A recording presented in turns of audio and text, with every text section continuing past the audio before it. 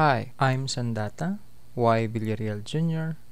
Welcome to Video Assisted Instruction C++ Programming Series. Our topic for today is about how to create a file in C++ programming language using Visual Studio. So the first thing you're going to do is to click the start then you can point to all programs and then you can scroll and point to Microsoft Visual Studio 2012 folder. And then you can click on Visual Studio. Afterwards the starting pop-up of the Visual Studio will appear.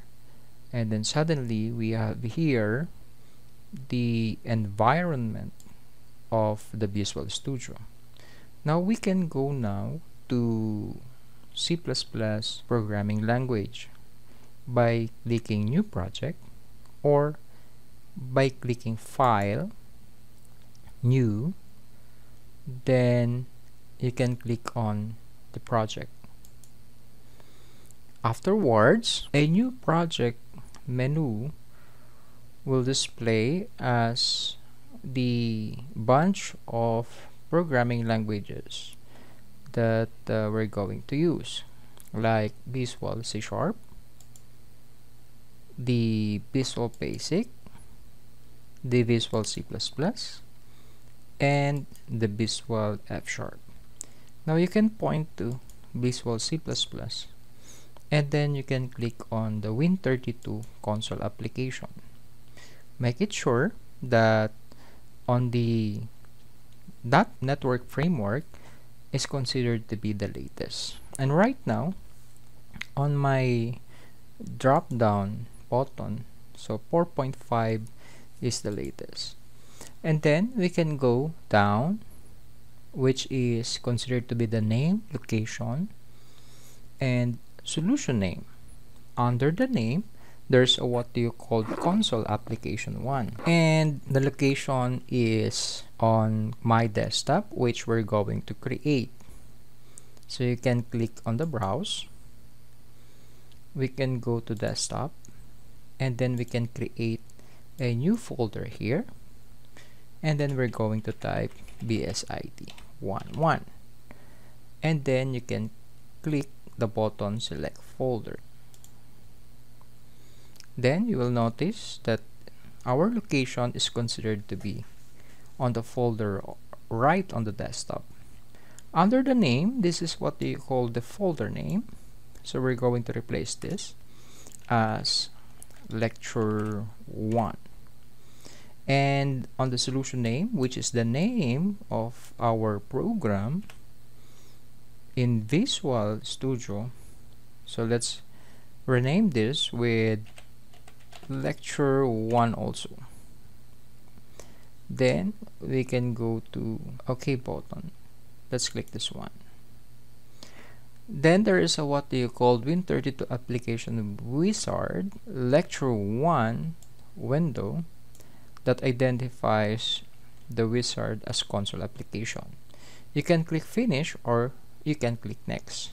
But I prefer you can click next then another which is the application setting. Right now there's a what you call check right here on the precompiled header.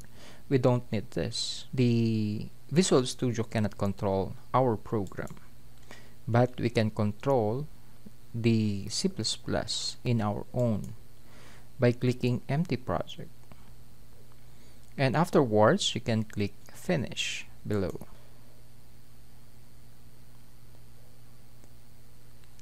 okay so here is the environment of Visual C++. Okay, below there is a what you call the error list which identify all of your errors in coding. On the right part, the Solution Explorer panel and the Properties panel which is considered identified as lecture 1. Our solution as the same as our folder and under the folder we have the source file folder inside of it. What you need to do is to click on the source file right click on it and you can point to add then click new item. Afterwards there's a what you call visual C++ and right on the middle okay there is a what you call C++ file .cpp so below there's a name source.cpp and uh, what we need to do right here is to replace this source name into lecture 1 by typing sandata underscore comprog 2 underscore lecture 1 dot cpp and then you can click add and you will notice the C++ file has been created. We can check on this by minimizing the Visual Studio and uh, going through inside of our folder which we created on the desktop. Double click on it, you can go to lecture 1 and there is what they call the solution folder. The solution folder is uh, the one file that you can click to open also your created program. Otherwise you cannot open your program. Okay so we can go to the folder lecture 1 and you will notice sandata underscore comprog2 underscore lecture 1.cpp was being created already.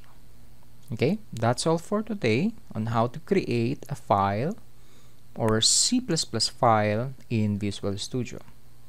Thank you and good luck